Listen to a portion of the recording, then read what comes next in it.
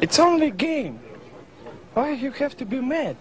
What is up, heroes of Dominion? My name is Charlie. This is Hero Wars Central, and in this video, we're going to talk about all things Summer Festival in Hero Wars Dominion era. Everything you need to know from when we think the event is going to happen, what the event tasks are going to be, the main rewards, the gameplay loop, and even a couple of secrets from years past and what might be coming in 2024. But before we do that, please consider subscribing so you never miss a video. Turn on notifications so you never miss a live stream.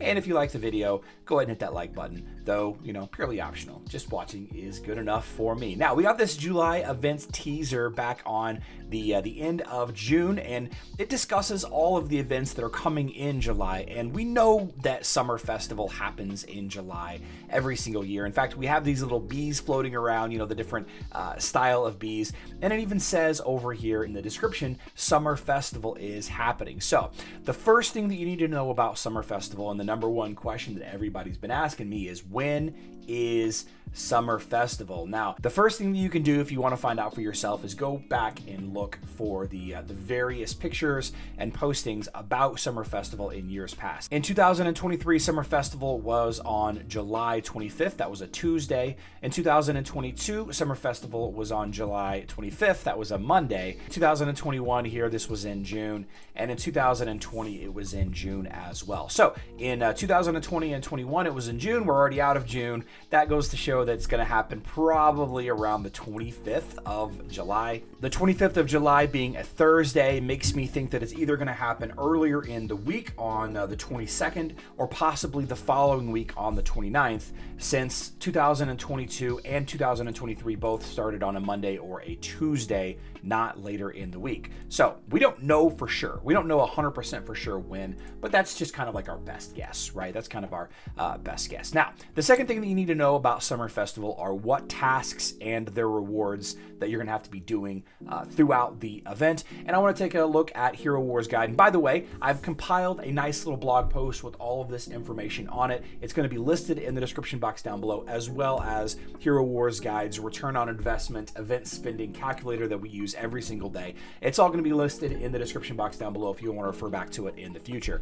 These have been the tasks for Summer Festival the past couple of years, and they really haven't changed really as long as I can remember. It is a seven day or a week long event. You have login, VIP level, not get VIP. You have spend emerald, spend energy, open outland chests, collect hero soul stones from any source, fight in arena or grand arena fights, and then the total special event quests that you complete. And if you complete all of these, it is 140% return on investment if you spent emeralds or, or what have you. And if you want to play with this calculator a little bit, the way that it works is you have this sliding graph here. So for example, if you've collected 600 hero soul stones and you're thinking about collecting more, you might want to take a look at this to decide how deep you want to go. You can see that 900 kind of is the, the top of the bottom of the graph there. And then uh, if you just spend 100 more, it jumps up a huge amount on that return on investment. And the big reward that you get from completing these tasks is honey.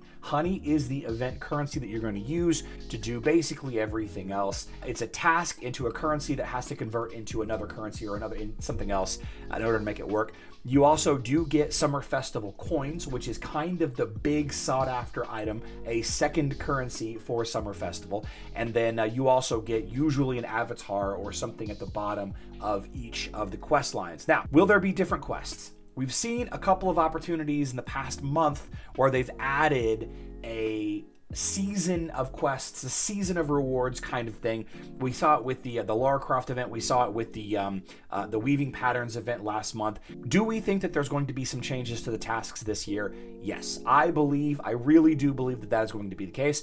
But if there isn't, this is what we've got. All right, and again, big shout out to Colin over at Hero Wars Guide for putting this stuff together. Now, the honey that you get can be deposited into this little hive on the Summer Festival dashboard. Every 250 honey you get, you can deposit in there for a chance at five different rewards. They're okay, they're not amazing. They are new for 2023. They were actually a little different in years prior, so I don't know if they're going to change again. And it is not an equal 20% drop rate here. You have enchanted runes, that's what you level up your hero's glyphs. You have chaos cores, skin stone chests, that's the small skin soulstone chests, unfortunately. 400 artifact coins, and then finally the Summer Festival coin, which you use in the Summer Festival shop, which we'll talk about in just a second. The drop rate for these items has been all over the place. There are some people that say that you have to use at least three per day. The first one that you use always gives you a Summer Festival coin, and then the third one gives you a Summer Festival coin. Some people swear it's the fifth one. Some people say that that doesn't work at all. So, what you can do is kind of pay attention to the community and just do it for yourself. Just try it for yourself. I know that a lot of people are going to be spending all of their resources at the very front. They're going to be very eager to dump all of their honey into the to the hive as soon as they get it. Maybe it's worth waiting and spreading it out over the course of the week. It really just depends on your playstyle, I suppose. I'm a little front heavy. I like to dump all my resources as early as possible so I can be, you know, done with the activity, done with the task, and not have to think about it. But at the same time, I do enjoy playing through the events.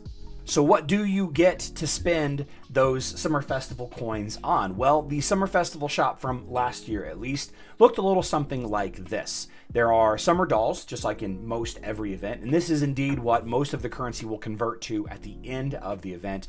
You have 100 soul stones of your choice with some restrictions, probably not Cleaver or Jet or Lara Croft or a few others, just like usual. And you can see that there are two here, so that does give you 100 soul stones. You have pet summoning eggs, uh, you have skin stones, one coin is 4,500. This is actually, I believe, the highest, if not the absolute best value for emerald spend. Uh, the chaos particles, one for a thousand, is slightly more valuable as far as emeralds, but usually you don't spend emeralds on chaos particles. So it you know gets a little bit of philosophy in there, and then you have a ton of items. You can see the uh, red items there, uh, more red items for five coins. It dips a little bit into the orange items for around three and four coins. You can see the Unity of Extremes is a favorite of mine, and then there are some violet items to kind of wrap up the the end of it. But there are a couple of things that weren't around last year in Summer Festival, and first and foremost being the flags and the patterns. So I'm hoping to see some of those added in here. But we will be doing a Best Buy video, of course, whenever we find out what the shop looks like. But if you're curious about what my favorite Best Buys were from previous years, I'll have that video linked in the description box down below. Uh, it'll actually be linked on the blog post that I uh, that I accompany this video with. So if you're curious about the Best Buys, usually newer players should get the Hero Soulstone chest because it helps with that task to collect Hero Soulstones, right? Kind of plays on itself. That's one way to do it. And getting 100 Soulstones of the hero of your choice is very beneficial. But the skin stones and the chaos particles, if you're just generally leveling, fantastic decision to go with. I personally will be buying one or two items just to save a lot of time. And if you're a free to play player, then the items are the way to go because if you're free to play, you don't have raid, you don't have VIP, you don't have speed up, this is going to save you a ton of time to go that direction. Yeah, absolutely worth considering there. The Summer Dolls will put together a list and have that on the blog post as well. And there's also an additional box called the Beekeeper's Box. It's another currency that you can earn elsewhere. We'll share that list on the blog post as well if you're curious about how and what is in those content. Now, it's in the most important thing, and actually the first thing that you should do before Summer Festival ends, is do the mini games. Now, there are a few mini games there's a little bee mini game. There is a little flower forest nymph mini, uh, mini game, and there was even a mini game from uh, 2023.